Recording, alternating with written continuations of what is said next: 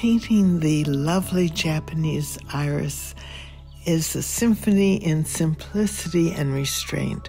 So, in a way, it's very meditative because each stroke matters and must be done deliberately and precise.